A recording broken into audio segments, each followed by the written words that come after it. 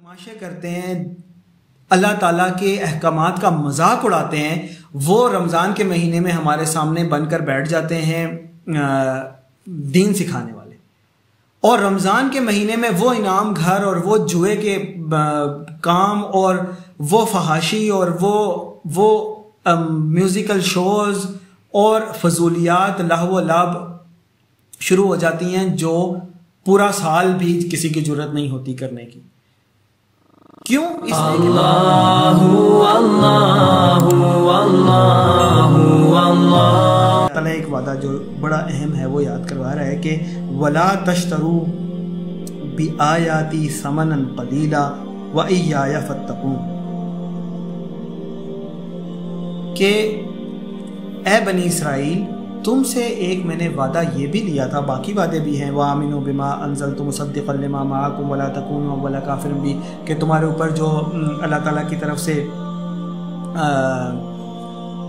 अल्लाह ताला की तरफ़ से पैगाम आते रहे हैं अम्बिया और रसुल जो अल्लाह के मैसेजेस और शरीयत और पैगाम लेकर आते रहे, उनको मानोगे, काफिर नहीं बन जाओगे। इस तरह कंटिन्यूस अल्लाह ताला बाकी भी इस सूरत में वो वादे हैं जो याद करवाता है।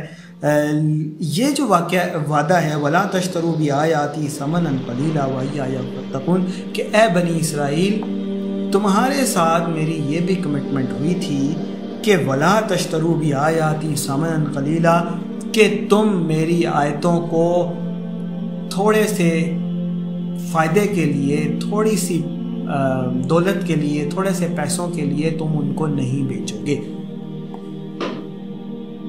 ये आयत हम पढ़ते रहते हैं, इसमें क्या मामला है कि जिसमें जो बनी इसराइल है, हैं, वो अल्लाह की आयतों को बेच देते थे? ये कैसे हो सकता है? अल्लाह की आयत को, अल्लाह ताला की निशानियों को, अल्लाह के मैसेज को कोई कैसे बेच सकता है? और जैसे हम पहले पहले पढ़ चुके हैं कि बनी इसराइल के साथ जो जो मामला पेश आए थे नबी मुकरम सल्लल्लाहु अलैहि वसल्लम की हदीस के मुताबिक, वो इस कदर उम्मत मुस्लिमा के साथ पेश आएँगे कि हद वन्नाल बिन्नाल हती के जैसे एक जूती दूसरी जूती के मुशाबे होती है। इस तरह से हम वाक़ात होंगे। तो बनी इसराइल के लोग कैसे अल्लाह ताला की आयतों को बेच देते थे और कैसे हमारी उम्मत में भी वो चीज़ आ सकती है या आ चुकी है? दरअसल, जो दीन को, अल्लाह के दीन को संभालने वाले या अल्लाह के दीन को समझने वाले समझे जाते हैं किसी भी उम्मत में, अगर उनके अंदर मटीरियलिज्म आ जाए, दुनिया की मोहब्बत आ जाए तो वो ऐसी गलती कर देते हैं कि दुनिया का फ़ायदा हासिल करने के लिए अल्लाह के दीन को ही बदल दो। अगर किसी दुनियावी काम में फ़ायदा नज़र आ रहा है या कहीं से माल और दौलत आती हुई नज़र आ रही है तो अगर दीन उसके आड़े नवजुबिल्ला लग रहा है कि आ रहा है तो वो नवजुबिल्ला मिनजालिक उस दीन को और आयत को बदल देते थे। उसका मतलब अपनी मर्ज़ी का निकाल लेते थे। जैसे कि असहाब सब्त के फॉर्म में हमें पता है, वो भी अभी ज़िक्र आने वाला है, कि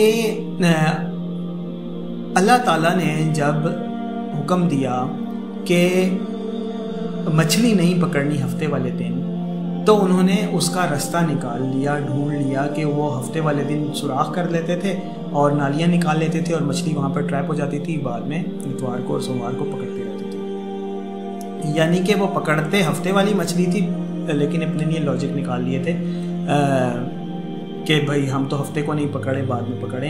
इसी तरह के मामला में जब अल्लाह ताला वो अभी आगे स्पेसिफिक एग्जांपल भी आएगी कि जब अल्लाह ताला हुक्म देता था कि ये काम नहीं करना तो वो अपने उलमा और रुबान और सो कॉल्ड जो उनके दीनी लीडर्स होते थे, उनसे फतवे ले लेते थे, उसकी लॉजिक झूठ मूठ निकाल के। अब अल्लाह ताला वो याद करवा रहा है कि तुमसे मेरा वादा था कि वला तश्तरू भी आयाती समन कलीला, मेरी आयतों को अपने थोड़े से फ़ायदे के लिए नहीं बदलोगे। यही मामला आज के दौर में भी आपको नज़र आ जाएगा। आपको ऐसे उलमा सो कॉल्ड उलमा उलमा तो नहीं कहना चाहिए उनको ना ही वो उलमा होते हैं जो ऐसे काम करते हैं। वो दीन को अपने मकसद के लिए इस्तेमाल कर रहे होते हैं और दीन को बेच रहे होते हैं। आजकल रमज़ान चल रहा है, रमज़ान की ट्रांसमिशन ये हर साल होता है। आ, मुझे तो इस दफ़ा ज़्यादा मौका नहीं मिला टीवी देखने का लेकिन बल्कि अच्छा मौका है कि बता दूँ कि मेरे पास तो कई सालों से टीवी है ही नहीं। ऑनलाइन ही अगर कोई चीज़ देखने को नज़र से गुजर जाए तो गुजर जाए। बहरहाल इस दफ़ा अभी तक तो मुझे ज़्यादा मौका नहीं मिला लेकिन हमें सबको पता है कि हर रमज़ान में ये एक खेल तमाशा शुरू हो जाता है दीन के नाम पर। कि जो लोग पूरा साल तमाशे करते हैं, अल्लाह ताला के अहकाम का मज़ाक उड़ाते हैं, वो रमज़ान के महीने में हमारे सामने बनकर बैठ जाते हैं दीन सिखाने वाले। और रमज़ान के महीने में वो इनाम घर और वो जुए के काम और वो फहाशी और वो वो म्यूज़िकल शोज़ और फजूलियात, लाहव लाभ शुरू हो जाती हैं, जो पूरा साल भी किसी की ज़रूरत नहीं होती करने की।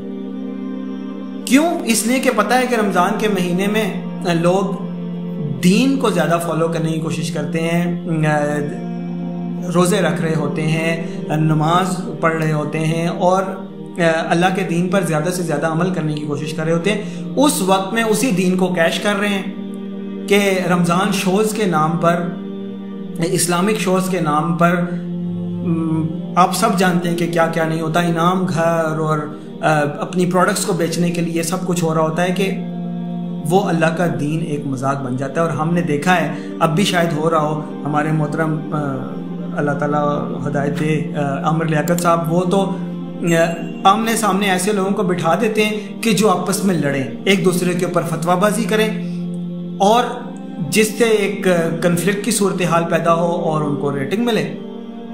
और अब वहाँ पर बैठने वाले लोगों को भी अल्लाह ताला हदायत दे, वो जो सो कॉल्ड उलमा होते हैं, कि वो एक दूसरे के ऊपर फतवाबाजी में बिल्कुल गुरेज नहीं करते, क्योंकि उन्हें पता है कि उससे दुनिया का फ़ायदा हासिल होगा।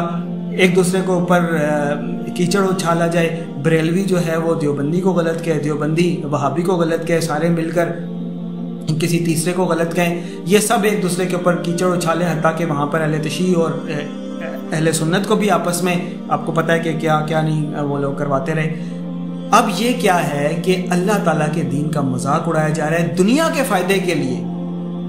दुनिया के फ़ायदे के लिए अल्लाह ताला की आयतों का मज़ाक उड़ाया जा रहा है, अल्लाह ताला की आयतों का इस्तेमाल किया जा रहा है। वला तशतरू भी आयात समन कलीला, अल्लाह ताला की इस आयत से सरी खिलाफ वर्जी की जा रही है। यही वो हरकतें थी कि जिनकी वजह से बाद में बनी इसराइल को अल्लाह ताला ने माजूल कर दिया और वबाऊ भी गज़ब मिन अल्लाह कर दिया। ये वही वादे हैं जो बनी इसराइल ने पूरे नहीं किए थे और हमारी उम्मत के अंदर भी वो उसी तरह काम